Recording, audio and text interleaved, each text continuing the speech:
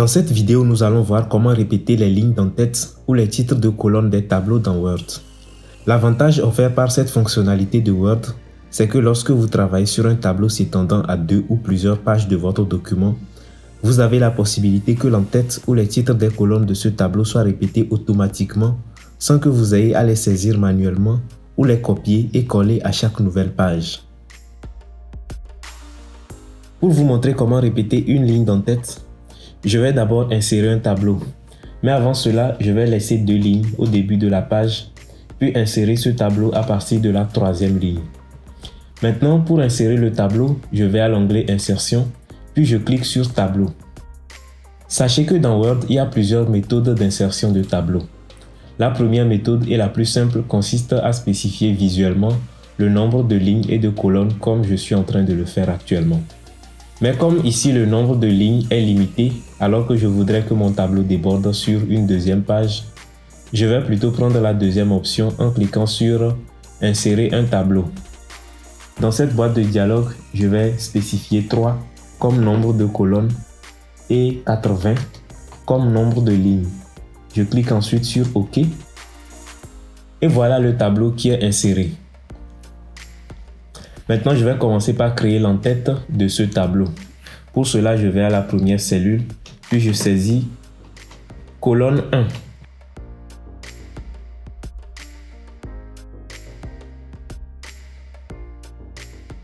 Ensuite, j'appuie sur la touche tabulation pour passer à la deuxième colonne. Je saisis la colonne 2. Puis je vais à la troisième colonne et je mets colonne 3.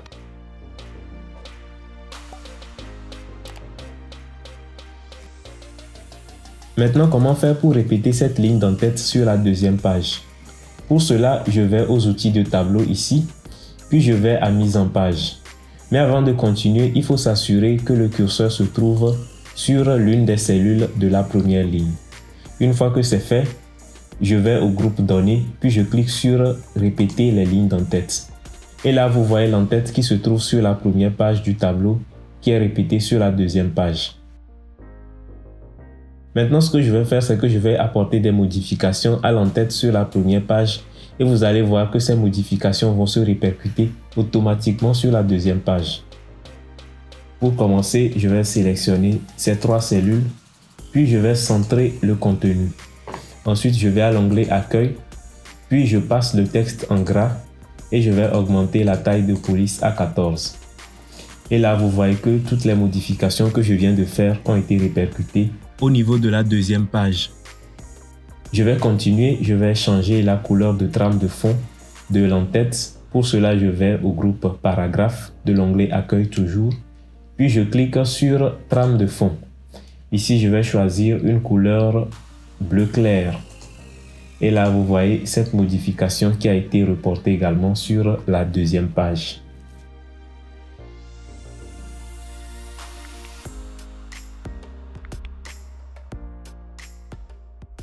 À présent, nous allons voir comment répéter deux ou plusieurs lignes d'entête. Ce cas est applicable aux tableaux qui ont un en-tête constitué de deux ou plusieurs lignes. Pour cela, je vais insérer un second tableau. Et pour insérer ce second tableau, je vais aller à la fin de la deuxième page, puis je vais insérer un saut de page. Pour insérer un saut de page, vous avez deux options. Vous pouvez soit utiliser la combinaison de touches CTRL Entrée pour passer directement à la page suivante, ou bien vous allez à l'onglet Mise en page, puis vous cliquez sur Saut de page et Page. Pour faire simple, je vais juste utiliser la combinaison de touches CTRL Entrée. Et là, je suis passé à la troisième page. Avant d'insérer ce second tableau, je vais encore laisser deux lignes, puis insérer le tableau à partir de la troisième ligne. Et pour insérer ce tableau, je vais toujours à l'onglet Insertion. Ensuite, je clique sur Tableau, puis je prends l'option Insérer un tableau. Ici, je vais spécifier les mêmes paramètres que le tableau précédent. Pour cela, je vais entrer un nombre de colonnes de 3, puis 80 lignes. Je clique sur OK et voilà le second tableau qui est inséré. Ici, pour créer l'entête de ce second tableau, je vais aller à la deuxième cellule de la première colonne, puis je mets colonne 1.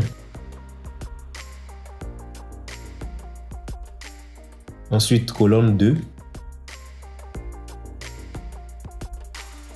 Et colonne 3.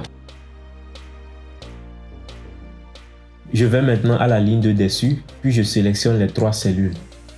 Ensuite, je clique sur l'onglet Mise en page, puis je vais fusionner ces trois cellules. Au niveau de la nouvelle cellule créée, je vais mettre cellule fusionnée.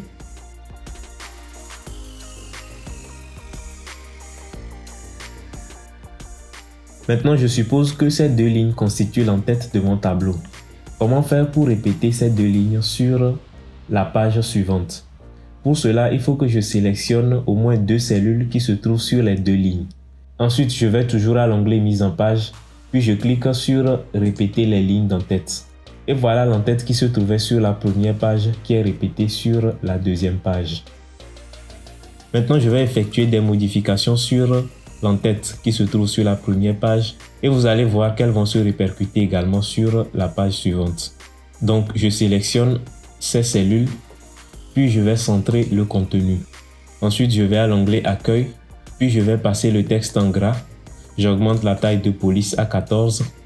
Je vais changer la couleur de trame de fond. Je vais prendre cette fois une couleur orange. Et là, vous voyez les modifications que j'ai effectuées au niveau de l'entête sur la première page qui ont été répercutées sur la deuxième page. Mais il y a une précision que je voudrais apporter. La précision, c'est que vous pouvez seulement modifier l'entête sur la première page parce que les lignes d'entête des pages suivantes sont verrouillées. Vous allez voir dans ce deuxième exemple, il est impossible pour moi de sélectionner quoi que ce soit sur l'entête qui se trouve sur la page suivante. Essayez également chez vous, essayez de cliquer. Vous allez voir, c'est impossible de cliquer. Alors qu'au niveau de l'entête sur la première page, il est possible de faire les modifications. Donc c'est ainsi que fonctionnent ces entêtes-là. Vous pouvez effectuer les modifications seulement sur la première page de votre tableau. Les entêtes des autres pages sont verrouillées.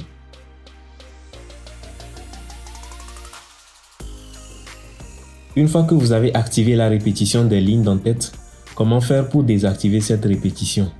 C'est simple. Pour cela, il suffit juste de sélectionner les lignes d'entête du tableau. Ensuite, aller à l'onglet Mise en page des outils tableau, puis désactiver le bouton Répéter les lignes d'entête. Ici, vous voyez que comme la répétition des lignes d'entête est activée, ce bouton est mis en surbrillance. Donc, pour le désactiver, il suffit juste de cliquer dessus et là, vous voyez que la répétition est désactivée. Il n'y a plus rien au début du tableau sur la page suivante. Je vais faire la même chose au niveau du premier tableau. Pour cela, je vais au niveau de la ligne d'entête qui se trouve sur la première page. Ici, je n'ai pas besoin de faire la sélection de toute la ligne. Il suffit juste que je sois dans l'une des cellules d'entête. Puis je clique sur le bouton répéter les lignes d'entête pour le désactiver. Je clique et là, vous voyez que l'entête n'est plus répétée.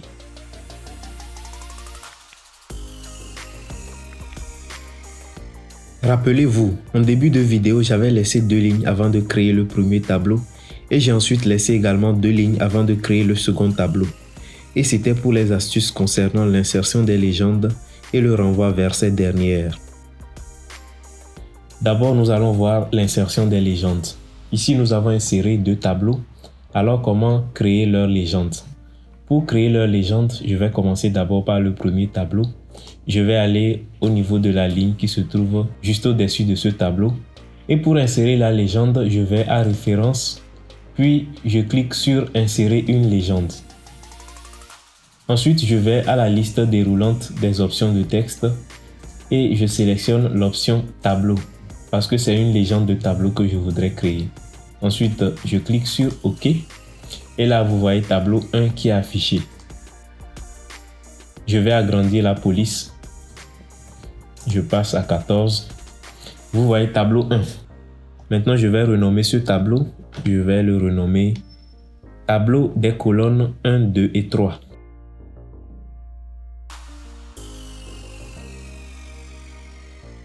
Je vais faire de même au niveau du deuxième tableau je vais au niveau de la ligne qui est juste au-dessus de ce tableau et je vais à référence et je clique sur insérer une légende. Comme c'est l'option tableau que je viens d'utiliser, elle est prise par défaut. Je clique sur OK Et là, vous voyez tableau 2. Je vais encore augmenter la taille de la police. Je vais passer à 14.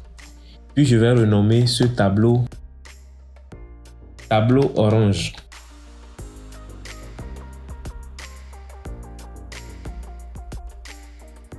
Donc je viens de finir l'insertion des légendes des tableaux. Maintenant nous allons voir comment créer les renvois vers ces tableaux. Ce que vous devez savoir, c'est que les renvois constituent des référencements vers les illustrations de votre document. Ici, les illustrations, ce sont les tableaux 1 et 2. Pour vous expliquer plus simplement, dans un document, vous pouvez retrouver une phrase du style Le tableau 1 présente la liste des fruits les plus consommés en Afrique. Donc dans cette phrase, tableau 1 fait référence à l'illustration qui est le tableau 1. Donc ici, je vais mettre des phrases de référence vers les deux tableaux que je viens de créer. Donc pour le tableau 1, je vais mettre la phrase suivante.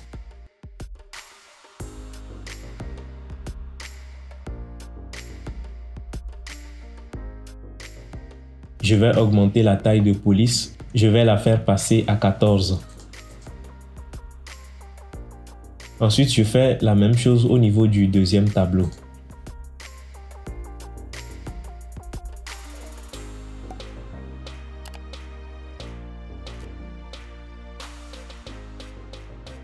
J'augmente également la taille de police et je la fais passer à 14. À cette étape, nous n'avons pas encore créé les renvois. Mais avant de poursuivre, je vais vous expliquer l'avantage de ces renvois. Ici, nous avons saisi manuellement les tableaux. Dans ce paragraphe, nous avons mis le tableau 2 dispose de deux lignes d'entête. Donc tableau 2 a été saisi manuellement. De la même façon, au niveau du premier paragraphe, tableau 1 a été saisi manuellement. Alors, quel est l'avantage des renvois? L'avantage des renvois, c'est que si par exemple vous apportez plusieurs modifications à votre document et que par hasard vous avez eu à insérer un tableau peut-être entre le tableau 1 et le tableau 2, le tableau 2 actuel va devenir le tableau 3. Donc il va falloir venir modifier manuellement le numéro du tableau. Et si vous avez un document qui est très long, ça va devenir fastidieux. C'est pour ça qu'il vaut mieux utiliser la fonctionnalité des renvois pour faciliter le travail. Pour cela, je vais retourner au niveau du, de la première phrase, puis je vais effacer tableau 1. Maintenant, pour créer le renvoi, je vais à l'onglet référence, puis je clique sur renvoi. Donc au niveau de la catégorie, je vais cliquer sur la liste déroulante, puis sélectionner la catégorie tableau parce que je veux faire référence un tableau. Ensuite, insérer un renvoi à. Au lieu de légende entière, je vais prendre plutôt l'option texte et numéro uniquement. Parce que si je prends légende entière, il va me mettre le tableau 1, 2 points, tableau des colonnes 1, 2, 3. Or, je veux juste mettre le tableau 1 dans cette phrase. Donc, le texte ici, c'est tableau et le numéro, c'est 1. Donc, je prends l'option texte et numéro uniquement. Je clique dessus puis je clique sur insérer. Et vous voyez que le tableau 1 a été inséré là où j'avais placé le curseur. Et cela constitue une référence. Je vais à présent faire la même modification au niveau de la deuxième phrase. Pour cela, je vais à cette dernière, puis je vais effacer tableau 2 que j'avais saisi manuellement. Ensuite, je reste toujours dans l'onglet référence puis je clique sur renvoi. Je conserve la catégorie tableau et je conserve également insérer un renvoi à texte et numéro uniquement. Maintenant pour la légende, je vais sélectionner tableau 2. Précédemment, je ne l'avais pas mentionné parce que le tableau 1 était sélectionné automatiquement. Donc maintenant, comme nous sommes dans le cas du tableau 2, je sélectionne tableau 2, puis je clique sur insérer. Et là, vous voyez tableau 2 qui est inséré au niveau de cette phrase. À présent, vous allez me demander à quoi cela vous avance concrètement, le fait de faire toutes ces manipulations-là. Donc pour vous montrer clairement, je vais aller au niveau du tableau 1, puis sélectionner la légende que j'avais créée pour ce tableau. Je vais l'effacer entièrement. Et normalement, une fois que j'efface celui-ci, le tableau 2 qui était ici devrait devenir tableau 1. Donc pour mettre à jour cela, je fais juste CTRL A pour sélectionner l'ensemble de mon document. Puis je vais faire un clic droit sur du texte. Donc je fais le clic droit quelque part ici. Puis je clique sur mettre à jour les champs. Et là, vous voyez que la légende qui était tableau 2 ici est devenue tableau 1 parce que tableau 1 n'existe plus. Et au niveau de la phrase de référence, tableau 2 est devenu tableau 1 automatiquement. Donc ça, c'est l'un des avantages. Le deuxième avantage, c'est que si je retourne au niveau de la première phrase, vous allez voir qu'il y a une erreur qui est renvoyée par Word. On nous dit source du renvoi introuvable.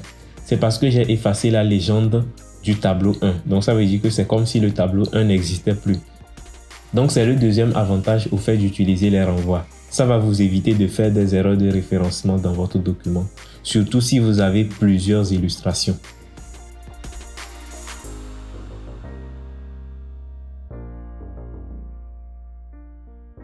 Et voilà, vous savez désormais comment insérer des tableaux puis répéter les lignes d'en-tête de ces tableaux dans Word.